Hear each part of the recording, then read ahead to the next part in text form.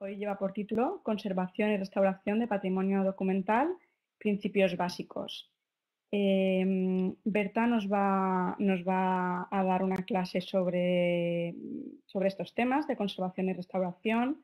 Va a ser una clase a nivel básico, lo cual mm, personalmente agradezco porque es un tema en el que muchos pues, no, no estamos muy versados. Em, ella daba aquí una serie de conceptos que nos va a explicar, acidificación, rogálicas, bueno, un montón de cosas que, que yo sí las di en la carrera, antes lo hablábamos, eh, la verdad que no me acuerdo. o sea que nos irá bien este repaso. Y bueno, eh, presentar a Berta. Berta Blasi es licenciada en documentación y diplomada en conservación y restauración de documento gráfico. Ella eh, lleva desarrollando su actividad desde que se graduó en el campo de la restauración y tiene un, taller. Em, Berta ah, abrió cuando difundimos la, información en el blog sobre este webinar, Em, puso su contacto para que todas aquellas personas que quisierais mandarle preguntas pudierais hacerlo con antelación y así ella pues enfocar eh, mejor la clase, poder ver vuestras necesidades y demás. Hay gente que se ha puesto en contacto eh, con ella y ha dejado alguna de sus preguntas y luego Berta pues, pues lo comentará. De todos modos, eh, vamos a hacer como siempre, todos aquellos que queráis hacer alguna pregunta podéis hacerla en el chat y bueno, yo lo iré, lo iré recogiendo y lo preguntaremos al, final de la clase. Bueno. Primero de todo, muchas gracias a todos por, eso, también por la paciencia, por haberos apuntado, que bueno, no esperaba que se apuntase tanta gente. Y, y bueno, como ha dicho Paula, eh, va a ser un webinar eh, un poco de conceptos básicos. 40 minutos no dan para mucho y voy a intentar hacer un poco un repaso de, todos eso, los principios, eh, términos y un poco procedimientos. Ya iréis, iréis viendo. Estoy un poco nerviosa. Em, bueno, empezamos eh, con dos conceptos básicos. Eh, la conservación y la restauración. Son dos cosas distintas dentro de un mismo conjunto. ¿Qué es conservación? Pues la conservación preventiva em, son todas aquellas acciones que indirectamente eh, protegen el bien cultural evitando Mm, o relantizando su deterioro. Entonces, la conservación preventiva se centra sobre todo en condiciones ambientales y en el entorno. Eh, la restauración eh, se hace cuando la conservación preventiva eh, no ha funcionado o directamente no ha existido. Entonces es algo que es directamente, se hace directamente sobre el objeto o los objetos. Entonces, hay unos criterios básicos a cumplir. ¿Qué es la ética de la restauración? Aquí tenemos a nuestro amigo, el exeomo, eh, que es un ejemplo muy, muy claro de lo que no se debe hacer, ¿no? Em, en la ética de restauración prima un concepto que llamamos mínima intervención. La mínima intervención, eh, pues como bien indica, es eh, intentar respetar la pieza al máximo y no intentar hacerle más cosas de las que se deberían hacer. Eso implica eh, respeto de la integridad física, es decir, un libro, por ejemplo, puede tener intercalado entre las páginas Em, pues eh, hojas o tarjetas de visita, anotaciones. Todo esto debe conservarse. Eh, si no se puede conservar dentro del libro porque está eh, dificultando su conservación, pues se conserva fuera, pero todo bien documentado. Ah, luego está, por ejemplo, las restauraciones antiguas. a lo largo de la historia un objeto puede haber sido restaurado en más de una ocasión y si estas intervenciones no perjudican a la pieza, pues puede, puede dejarse y no, tiene por qué sacarse. Estabilidad. Em, todos los materiales que usamos en restauración eh, son materiales que, son estables al paso del tiempo. Es decir, mm, que está probada su durabilidad. Eh, son materiales que no se alteran con el paso del tiempo, son materiales que no perjudican a la pieza. Eh, ya sea porque sean materiales eh, que se usan desde hace muchos años, como en el caso de la restauración de papel, por ejemplo, el engrudo o las colas animales, em, o materiales más modernos que han pasado unos test artificiales de envejecimiento. Entonces, claro, es necesario que, estas, estos productos de restauración sean estables para que no dañen la pieza y para que no se tenga que volver a restaurar en dos, tres años. El siguiente concepto, reversibilidad. Pues eh, todos los procesos que se hacen sobre una pieza tienen que ser reversibles. La limpieza en seco, por ejemplo, no es reversible. Tú cuando limpias eh, un documento lo limpias y luego Mm, no tiene sentido reversibilizar, ¿no? Pero eh, en el caso de poner un injerto de papel japón, por ejemplo, debe poder sacarse fácilmente sin dañar la obra. Por tanto, los materiales con los que encolamos ese papel japonés encima del documento original serán totalmente reversibles. Legibilidad es eh, una clara diferenciación entre eh, la obra original y el añadido por la restauración. En el caso eso, ¿no? De tener un hueco grande en un papel, pues esa laguna se reintegrará con papel japonés con una, con una técnica distinta al original. De manera que los materiales, los materiales nuevos y los originales se distingan perfectamente.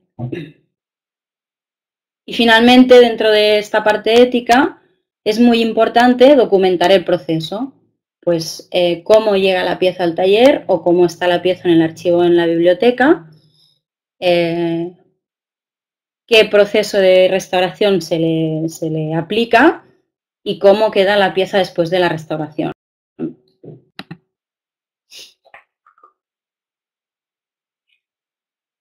Dentro de las degradaciones podemos eh, hacer dos grupos. Por una parte, hay las causas de degradación del propio objeto y por otra parte hay las causas de degradación que son el entorno de la pieza.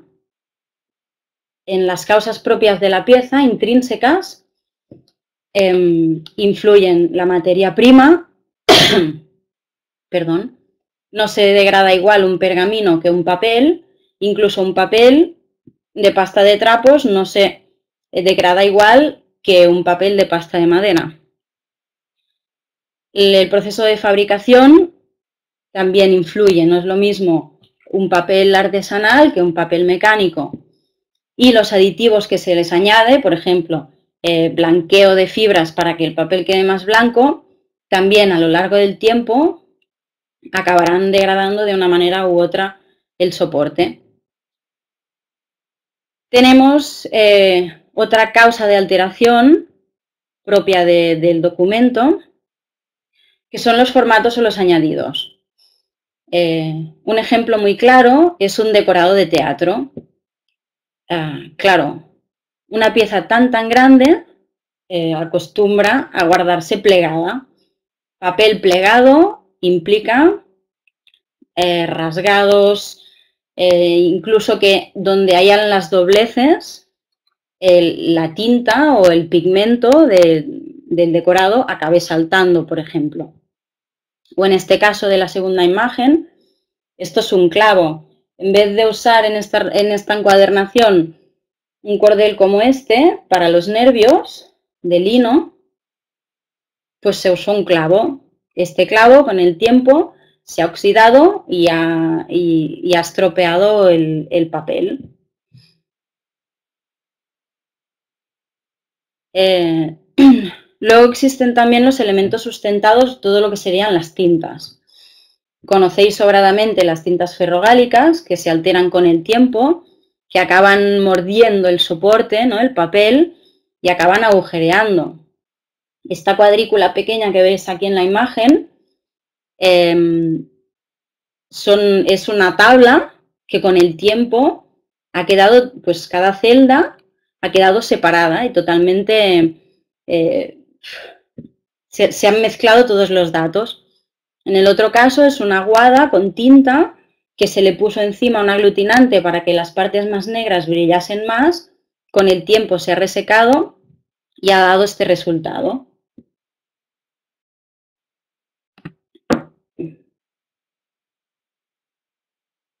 Las causas que veíamos antes eh, solo se pueden em, resolver con una restauración activa. Eh, para las causas extrínsecas, que son todas aquellas que hacen referencia al ambiente, eh, tenemos la conservación preventiva que, hemos hablado antes.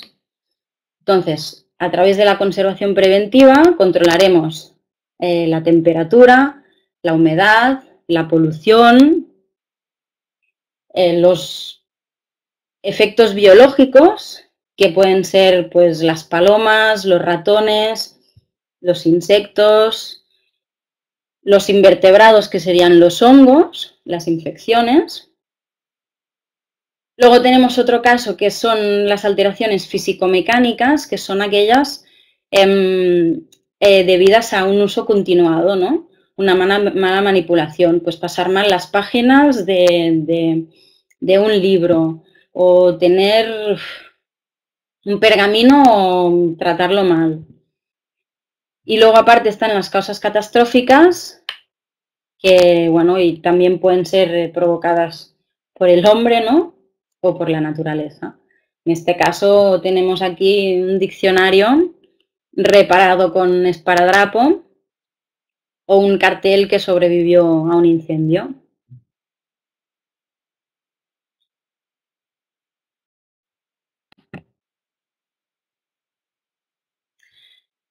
Para controlar las causas extrínsecas de deterioro, tenemos los parámetros básicos de conservación. Eh, lo básico, básico, básico que puede darse en cualquier archivo, en cualquier biblioteca y que tendría que ser fundamental, es una buena higiene, de los depósitos. Eh, una cosa tan simple como pasar el aspirador por las baldas de las estanterías, por encima de las cajas de archivo y tener un control diario, hacer como limpiezas periódicas, evita que las partículas de microorganismos, de microorganismos que están suspendidas en el aire eh, se depositen encima de, de los libros de las cajas y puedan proliferar. Luego tenemos que controlar también la temperatura, la humedad, la luz, la contaminación que se controla con el sistema de climatización y que no todos los centros tienen un buen sistema de climatización, las plagas. Eh, una de las preguntas que he recibido ha sido sobre las plagas. Alguien había escuchado que usando em, hierbas aromáticas eh, se conseguía paliar las plagas, pero bueno, profesionalmente es mejor tener una buena empresa de control de plagas en la agenda del centro y, hacer revisiones periódicas en ese sentido. Aquí tenéis un poco los parámetros los parámetros de conservación. Eh, la humedad relativa de la temperatura, es importante tener un control y evitar eh, pues que del, día a la noche haya pues, diferencias brutales como 5 o 10 grados de temperatura. Es, no siempre tenemos todos los mecanismos para controlar exactamente estos parámetros, pero sí que es interesante mantener un poco un equilibrio.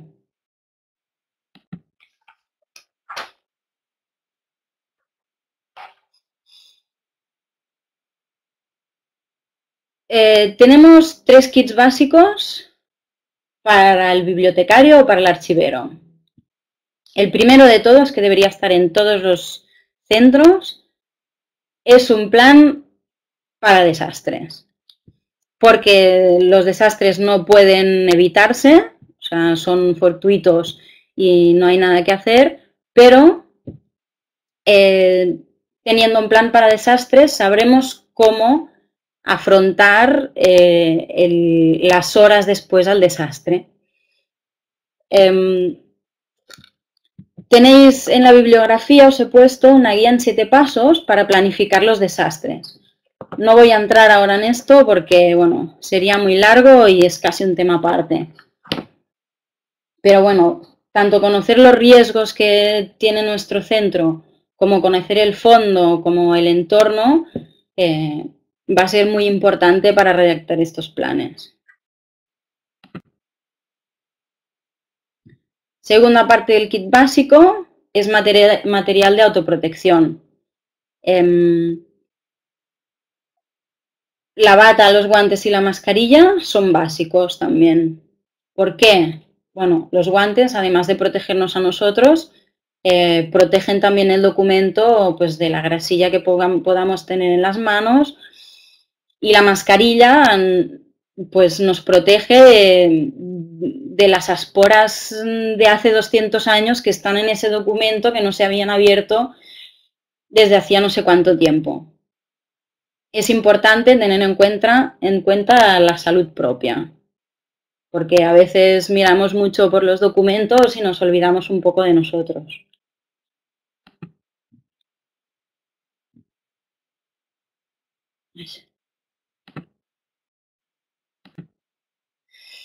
La última parte del kit básico eh, es un poco un, brevemente eh, cuatro, conceptos o cuatro procesos que se pueden dar que se pueden llevar a cabo en un archivo o en una biblioteca eh, sin tener unos conocimientos avanzados sobre, sobre, muy avanzados sobre el tema. Para la limpieza en seco usaremos una paletina. La paletina sirve para eliminar la suciedad superficial, como el polvo o la arenilla, eh, de los libros o de los documentos. Debemos tener en cuenta que una limpieza en seco es irreversible. Lo que decíamos antes de la reversibilidad, una limpieza en profundidad es irreversible. Luego no puedes hacer nada para recuperar todo lo que hayas perdido en esa limpieza. ¿Qué se puede perder en una limpieza? Pues evidencias históricas, mm, semillas que estén entre las hojas, eh, hojitas de plantas entre las hojas, em, el polvo que se usaba para secar la tinta, todo esto debería guardarse en unas bolsitas de estas de zip y tenerlas controladas porque mm, nunca se sabe esa información que nos, puede aportar. La paletina se puede compaginar con el aspirador de filtros em, de alta capacidad o filtro SEPA. En este caso es un aspirador de museo pero se pueden usar aspiradores con unos buenos filtros eh, normales y se les puede añadir em, esta parte de aquí que se vende por separado y se puede usar también en el archivo en la biblioteca. Eh, se compagina porque si vamos con la paletina eh, arrastrando el polvo y luego lo aspiramos con el aspirador, pues todas estas partículas de polvo no se quedan por el ambiente, ¿no? Y aunque llevamos mascarilla, pues algo siempre se puede colar. Otra parte mm, de la limpieza en seco son las gomas. Eh, aquí os he puesto tres tipos de gomas, que es una goma súper blanda, una goma blanda y una goma dura. Esta goma blanda, muy blanda, que se llama goma de humo, la, os la he traído aquí, a ver si la podéis ver. Es una goma muy blandita, es como una esponja casi casi, y, va muy bien porque no deja nada de residuo y necesita muy poca fricción para llevarse la suciedad superficial. Em, va muy bien, muy bien, sobre todo eso, para las primeras eh, intervenciones de decir, bueno, necesito limpiar un poco esto, ¿no? Pues pasas con la goma haciendo circulitos siempre y la suciedad superficial se va. No borra el grafito, las anotaciones a lápiz, no se van, a no ser que se apriete mucho, con lo cual funciona muy bien. Em, se puede lavar unas cuantas veces y volverla a usar cuando esté seca.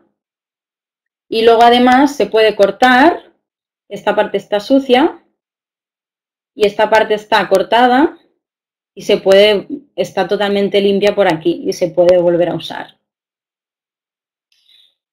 Eh, la siguiente goma es una goma blanda, en este caso es una Staller, eh, que bueno, que para la suciedad que ha quedado así como más incrustado, pues se le puede pegar un poquillo así también haciendo em, circulitos, siempre con protección, guantes en las manos para no dejar la grasa.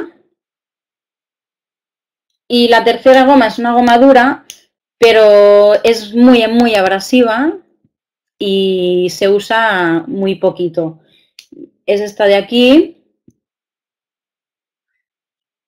Yo pues en, en el 2000 empecé en la escuela de restauración y esta es la segunda carga que, que pongo. Imaginaros. Lo poco que la uso.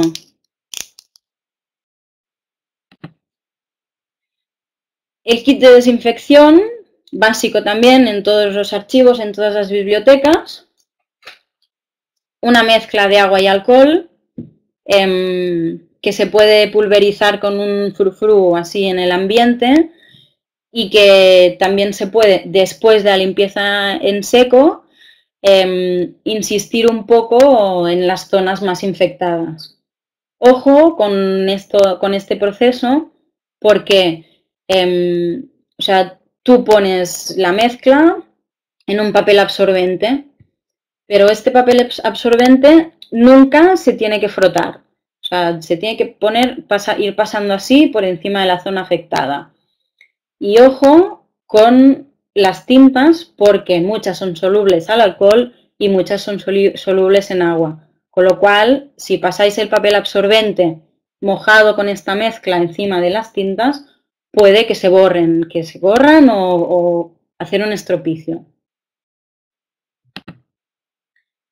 Em, finalmente,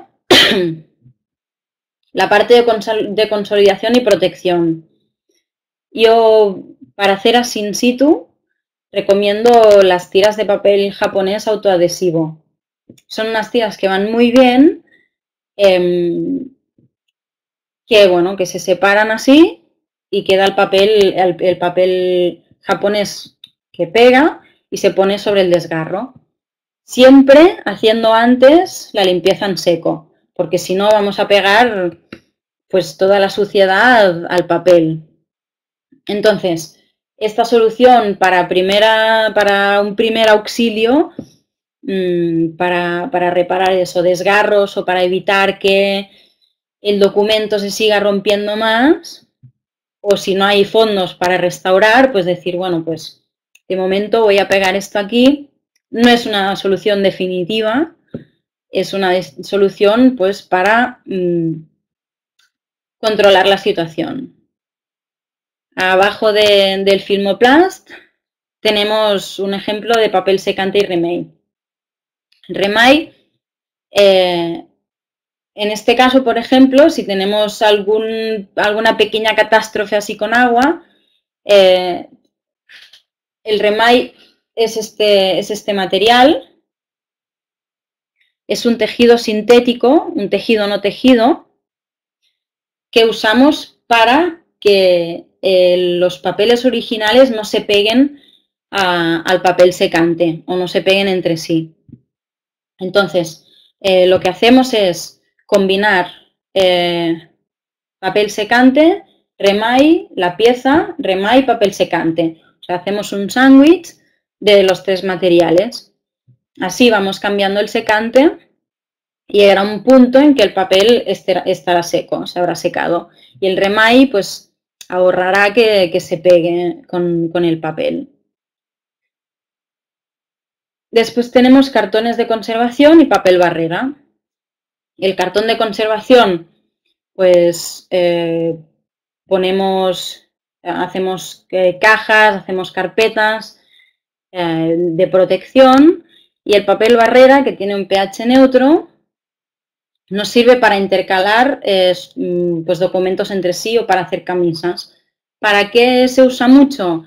El papel de periódico, que, es un papel que se vuelve muy ácido, normalmente está en contacto con otros documentos. Pues la, acidez del papel de periódico traspasa al papel que no es de periódico y le pega la acidez. Poniendo un papel barrera entre medio de, de, los dos documentos, evitaremos que la acidez pase de un lado al otro.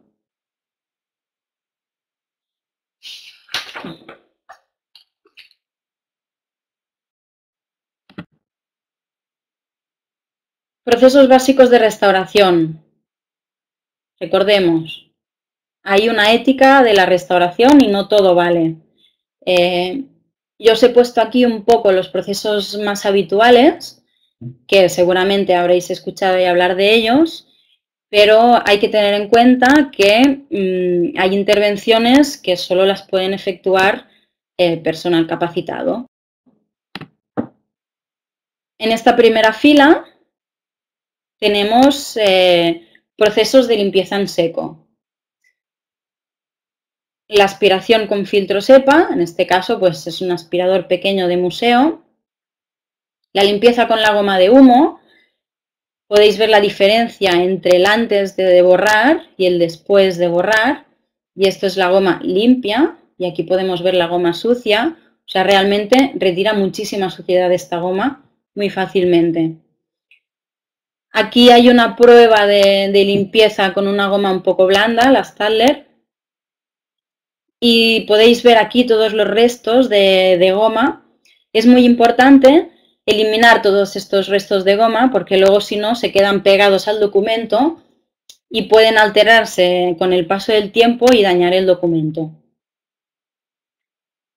En la parte de abajo tenemos procesos de limpieza. Eh, en el primer caso es una limpieza húmeda por inmersión. Em, la limpieza es un, la, limpieza húmeda son procesos complicados porque se somete el documento a mucho estrés. Entonces, no siempre todos los documentos reaccionen de la misma manera. En este caso, pues se hace una limpieza húmeda por inmersión, ¿no? Se pone el documento entre dos remais y material de protección y se sumerge. En el segundo caso, es una limpieza por capilaridad. El documento está encima de una tela mojada y la tela mojada va eliminando toda la suciedad por capilaridad. Y el tercer caso es la humectación de un pergamino. El pergamino con el paso del tiempo se deshidrata y se vuelve, y se vuelve como quebradizo, se reseca. Eh, pues para poder manipularlo con facilidad, además si ha estado plegado o ha estado enrollado, em, se pone en una cámara de humedad con, con, un tanto por ciento elevado de humedad, un 70-80, y se, se vuelve a hidratar, con lo cual después tratarlo es mucho más fácil.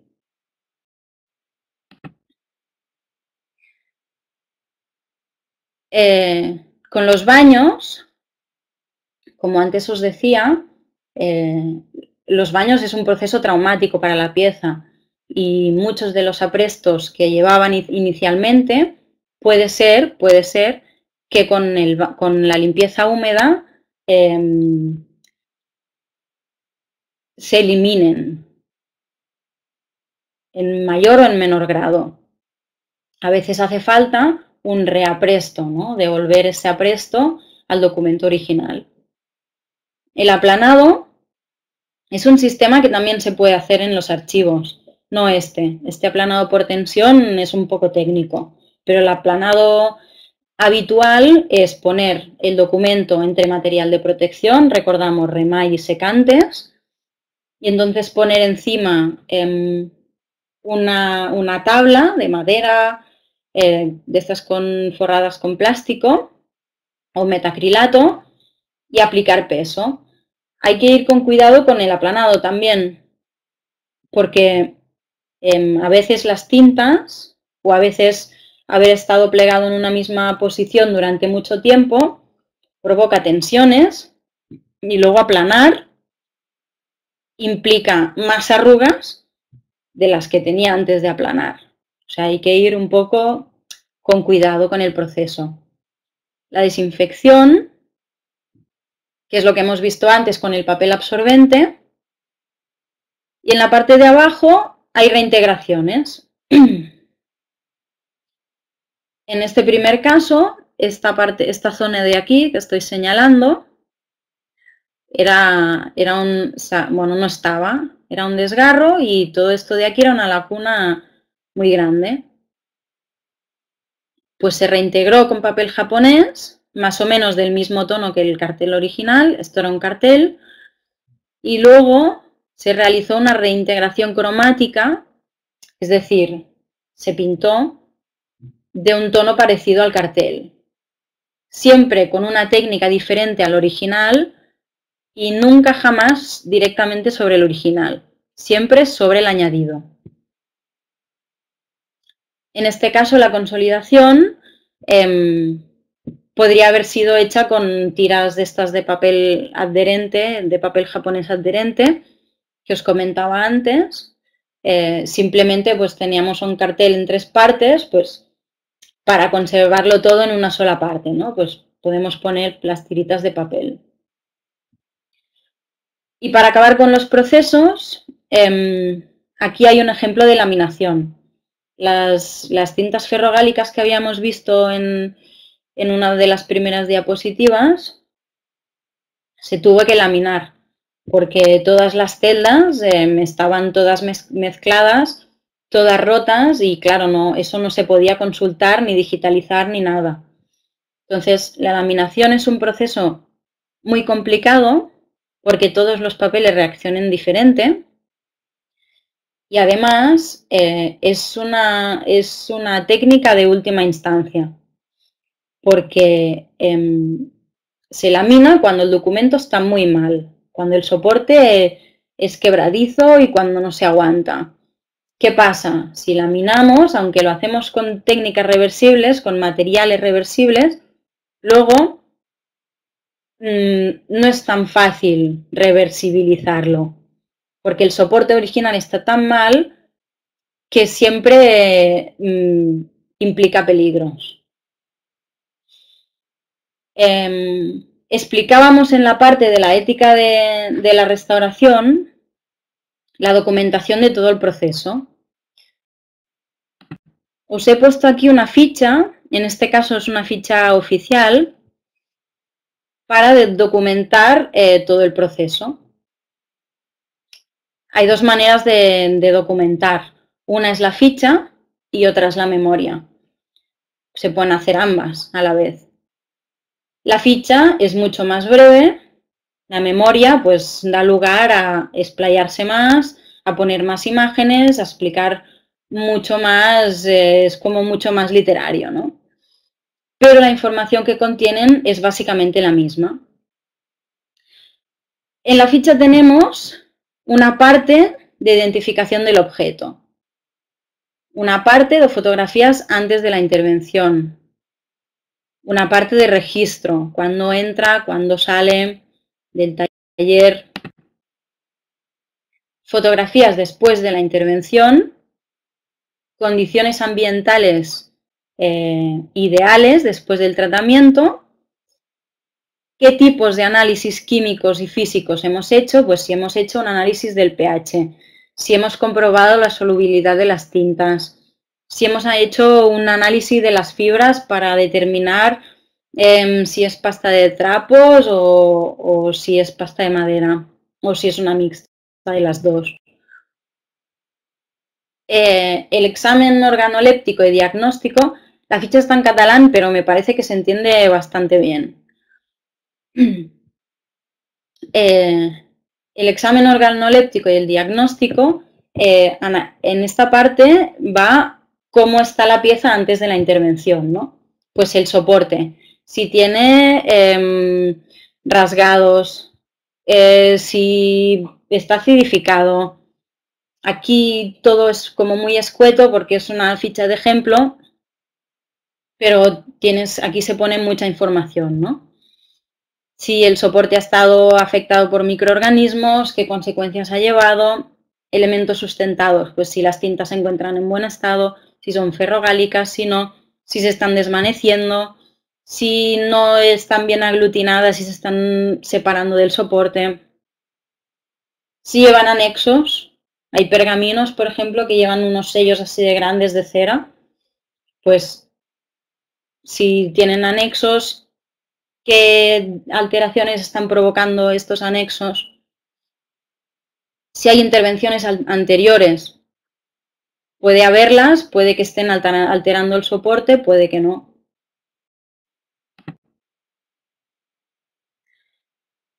Conclusiones pues si es necesario restaurar o no restaurar. Se supone que si llegas a esta ficha o si haces una memoria es porque se tiene que restaurar, pero a veces puedes estar haciendo un inventario del fondo, controlando las piezas que tienes y en qué estado están y puedes llegar a la conclusión que esa pieza todavía eh, o no es urgente restaurarla o no es necesario o está en perfecto estado. tenemos la propuesta de restauración. Eh, es previa, es una propuesta previa, ¿no? Viendo así un poco por encima la pieza, eh, qué procesos nos parece que, tiene, eh, que, se le tienen que realizar. Luego puede divergir del proceso de restauración en sí, porque una vez estás tratando con el documento y, y te has puesto a analizarlo y lo tocas y lo montas y lo desmontas Em, lo conoces mejor y sabes mejor eh, pues qué es lo que le puede ser más beneficioso, ¿no? En el proceso de conservación se pone todos los procesos que se han hecho de todas las técnicas y los materiales y proporciones. Pues eso, si se ha usado una paletina para la limpieza en seco, las gomas, y en la limpieza húmeda, pues si un baño, si dos, si de 5 minutos, si de 10 minutos, si a 50 grados, si a 30, si se ha desacidificado y todo esto.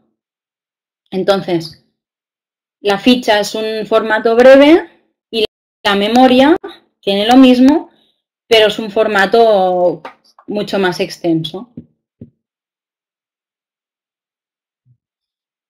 Y bueno, con esto termino ya. Os pongo una, una bibliografía un poco con unos cuantos libros que son bastante representativos y, claros sobre todo lo que, lo que os he estado hablando hasta ahora, que, que bueno, que, que, me parece, como os he comentado al principio, que a lo mejor es muy, muy básico, pero que con 40 minutos tampoco da para mucho más. Así que, bueno, nada. Muchas gracias, gracias a todos por, por, haber atendido a esta charla. Y, y, bueno, si os parece y os apetece, pues abrimos el turno de palabras. Y que seguro que me he dejado mil cosas y cada caso es un mundo. Así que nada, pues para adelante. Tengo unas cuantas preguntas, unas preguntas que, que me han hecho antes de empezar. No sé, Paula, si prefieres hacer esto antes o hacerlo comenta después. si quieres lo que comenta si quieres lo que tengas y, y luego te comento yo lo que ha habido por el chat. Vale. A ver, eh, porque tengo que abrirlo.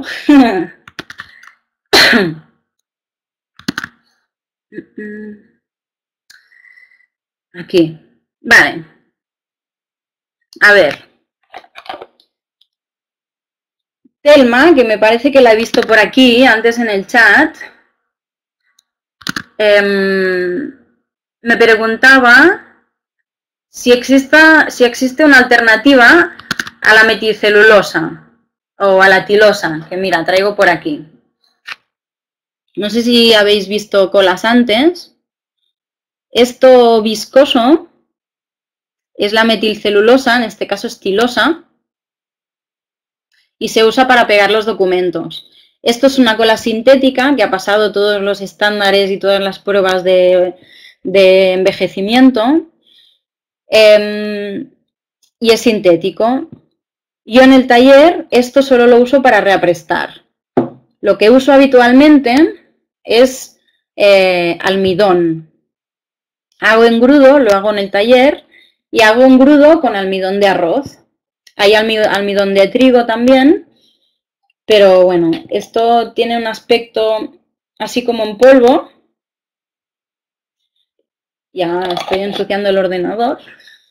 Em, tiene, un aspecto como de polvos de talco y para hacerlo se tiene que cocer. Se cuece, se mezcla con agua una parte de, almidón y cuatro partes de agua. Eh, con una parte así pequeña de almidón es suficiente para tener almidón para parar un carro. Entonces se, cuece eh, mm, mezclando todo el rato para que no se pegue al fuego lento, lento. Y hasta al cabo de 5 minutos, 10 minutos máximo, pues ya tenemos el engrudo hecho. Eh, también se puede hacer al microondas. Se hace la mezcla, se mezcla bien mezclado, se pone el microondas, 30 eh, segundos se mezcla, 30 segundos más se mezcla, 30 segundos más y al final pues obtenemos una pasta que es como una especie de gelatina eh, y con eso ya se puede encolar directamente. ¿Qué tiene de malo el almidón? Pues tiene de malo que, como es totalmente natural, enseguida le salen hongos, entonces tiene que guardarse en la nevera y no se puede usar durante más de dos días. O sea, cada dos días tienes que ir haciendo engrudo nuevo. Espero que esto conteste a la pregunta. Luego... Em, bueno, a ver, las otras. Em, me preguntaba Rubén, Rubén me preguntaba en qué momento debemos considerar restaurar. Eh, se restaura cuando un documento no puede realizar su función. Es decir, si la, función de un documento es informar, básicamente. Si porque el soporte mm, está muy, mm, dañado o si las tintas eh, van a acabar desapareciendo. O si están dos hojas pegadas y no pueden despegarse para leerse, pues se tiene que restaurar. Luego también se tiene que restaurar, pues si tienes un cartel que está más o menos en buenas condiciones, solo tiene un desgarro, pero te lo piden para una exposición. Pues entonces tendrás que restaurarlo a no ser que lo mandes con el desgarro a la exposición, que no va a ser el caso. O a lo mejor tienes 50 cosas para restaurar, tienes una que no está tan mal como las otras, pero tiene mucho más valor que las otras. Entonces, pues esa decide restaurarla. Esto va un poco en función de los recursos que tiene el archivo la biblioteca em, y la necesidad que hay de restaurar. Por ejemplo, restaurar antes o después de digitalizar. Hombre, pues si te vas a poner a restaurar, restaura antes, porque entonces tendrás digitalizado todo bien, podrás leer todas, bien las, todas las letras bien, eh, no tendrás pliegos, no tendrás nada y será mejor. Espero que eso haya contestado. Voy a limpiar un poco la... la... Vale. Espero que haya contestado. ¿Más preguntas?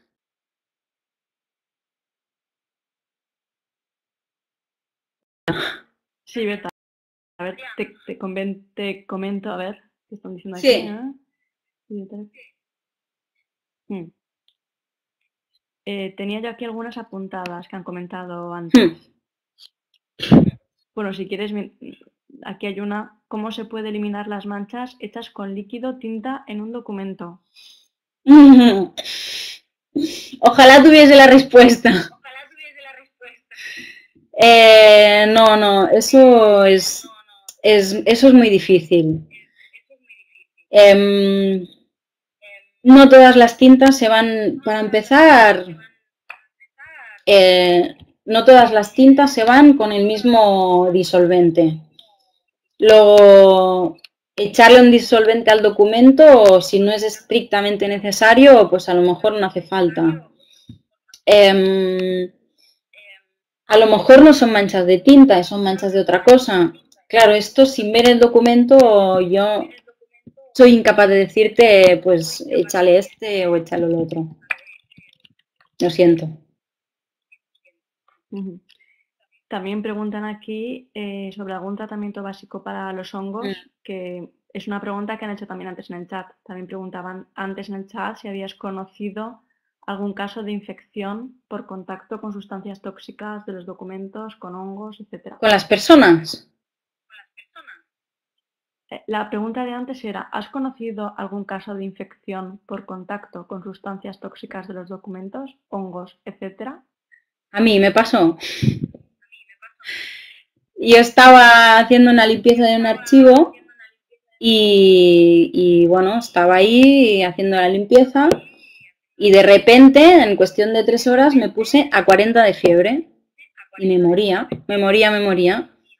Y, nada, pues me acosté y al día siguiente nada, cero, no me pasaba absolutamente nada. O sea, me entró dentro algún algo y, y, bueno, y se me dispararon las defensas. Estuve también trabajando en un museo también, bueno, con, que había piezas em, exóticas, piezas del África, piezas, piezas de la India. Y, la conservadora que había allí estuvo ingresada no sé cuántas semanas porque, porque se, le puso un bacterio dentro, una bacteria, y, estuvo ingresada en el hospital y todo. O sea que es importante protegerse bien sobre todo si se está en contacto directo, claro, es que no somos conscientes, pero si es cada día un poco, cada día un poco, cada día un poco, luego al final todo se va acumulando. Es como el, como el uso de los disolventes. Usar el alcohol para, desinfectar, eh, el alcohol es, es nocivo. No, no pasa nada si te haces una pupa y ahí te pones con el alcohol un ratito, pero si estás cada día inhalando alcohol, aunque sea rebajado, pues al final te acabará afectando. Eh, preguntaban sobre tratamientos de hongos, ¿no? Sí, tratamientos de hongos. Em, bueno, la solución que os he comentado antes de, del alcohol y el agua es muy efectiva. Yo estuvo, estuve trabajando en un archivo infectado eh, que, bueno, cometieron el error de entrar un fondo sin nuevo, sin, bueno, nuevo no cedido, sin, sin, pasar cuarentena y, con el cambio de humedad de un centro al otro, empezó a proliferar eh, bueno, una plaga de microorganismos espectacular. Entonces tenían todos los, eh, todos los libros en un estante y acabaron traspasando la infección en el estante de, delante.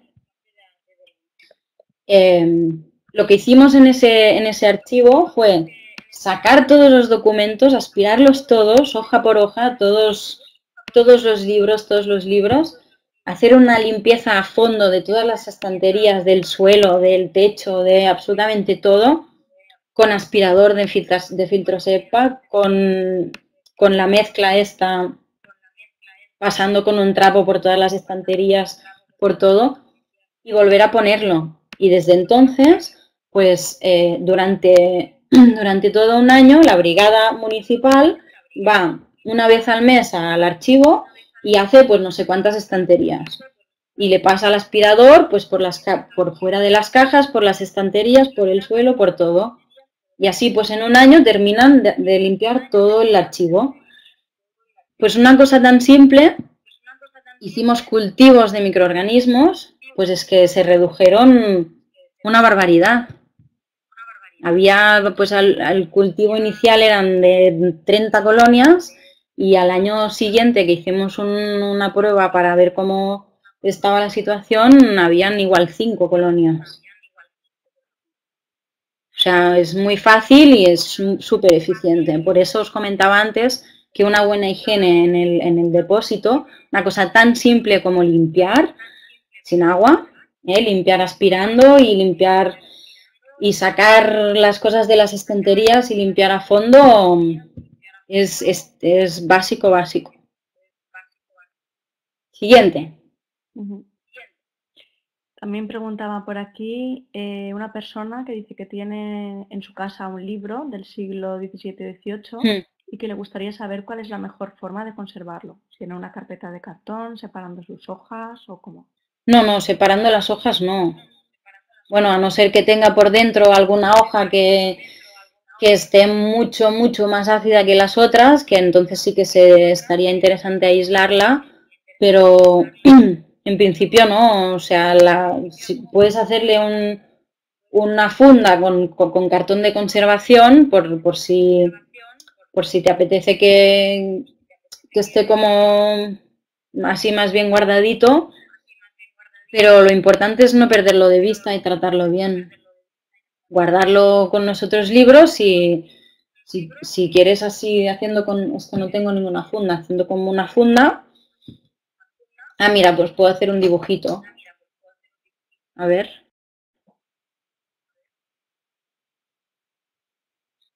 Si esto es el documento, bueno, se puede hacer una caja así. Ojo mi estilo de dibujo, ¿eh? No os lo perdáis. Y entonces, pues aquí iría el libro. Así, ¿no? Puesto aquí dentro aquí con una pestañita para poner el dedo y esto iría así adentro, ¿no? La caja llegaría en realidad hasta, hasta el final, ¿no? Hasta aquí. ¿Se entiende el dibujito más o menos? Ah, no veo el dibujo, ¿no se ve el dibujo? Sí, sí, sí que se ve. Vale. ¿Y se entiende más o menos? Sí, ¿no? pues esto es una manera, si no luego es hacer una... que nos han hecho en Social Biblio. si no luego es hacer una, una, caja para cerrarlo completamente, pero bueno, que si se tiene y se aprecia, pues es mejor tenerlo a la vista, ¿no? ¿Más preguntas? Sí, también comentaba Rubén eh, que le gustaría saber dónde se puede especializar en conservación y restauración de documentos en España, si existe algún curso, etcétera. Si, le podías recomendar alguna cosa. Bueno, a ver, cursos hay unos cuantos, no reglados, no, no, no, sé decirte bien bien dónde. Sé que hay unas cuantas escuelas que hacen cursillos. Sé también que por Zaragoza hacen hay escuelas taller, me parece, pero no sé si son para, para diplomados o para licenciados eh, o, se puede apuntar todo el mundo. Y si no, luego están, hay dos vías para, estudiar restauración y conservación. Uno son las escuelas de conservación y restauración, que son oficiales y son, claro, ahora con lo de los grados y todo eso, no sé cómo ha quedado, pero em, que antes eran diplomaturas y luego está hacer el recorrido por Bellas Artes, que, que es una licenciatura, pero claro, creo que ahora con el grado, no sé si hay grado de restauración, con todo este lío de las escuelas de artes y así, creo que son cuatro años y Bellas Artes me parece que son cinco o son cuatro también, no lo tengo muy claro. Esto, si os parece, eh, me apunto la pregunta para luego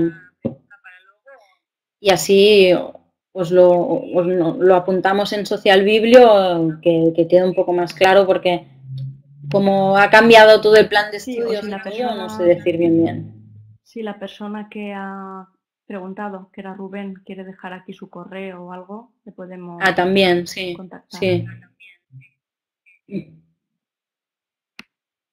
A ver, porque había más preguntas, pero ya no doy abasto a apuntar. ¿Cómo podría...? Si podrías profundizar en el tema de la limpieza de hongos. Si el agua ha de ser destilada, sí. si el alcohol de toda la vida. El agua es destilada, el alcohol de toda la vida, el de farmacia.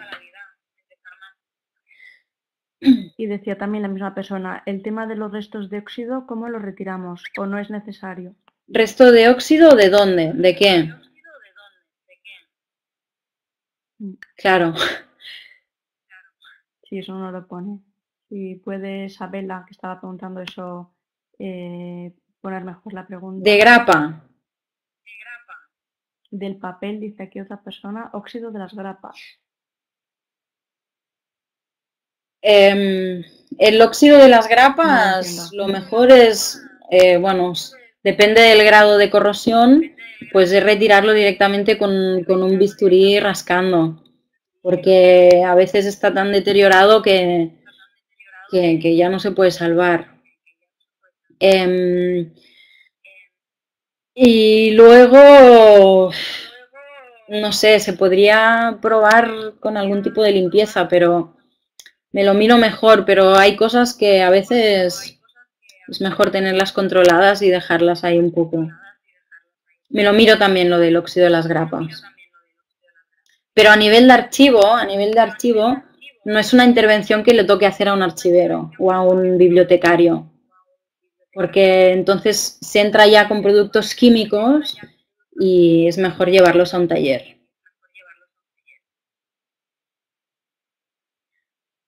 Sí que es importante eliminar las grapas, ¿no? Las grapas, los clips, las tachuelas y todas esas cosas, pero es importante, diría, quedarse ahí. Porque si no, a veces depende de la intervención que hagas, puede llevar consecuencias. Más preguntas. Decía Lisbeth por aquí, ¿cómo podría ablandar el adhesivo del lomo de los libros previo a la restauración? Pues depende de la cola que se haya usado. En teoría, se usa es que depende de, la época del libro, pero históricamente se ha usado siempre cola, cola animal. La cola animal es reversible en agua, pero no puedes poner agua directamente porque te calará en todo el libro y, hará un desastre. Entonces, eh, puedes probar de poner la tilosa muy, muy espesa por encima del lomo. Entiendo que es el lomo sin el lomo, bueno, muchísimas gracias a todos, eh, repito otra vez, por haber estado aquí hoy, pese a los problemas técnicos que hemos tenido y el retraso en la clase. Muchas gracias a Berta también por, haber tenido paciencia y, y haber colaborado con Social Biblio.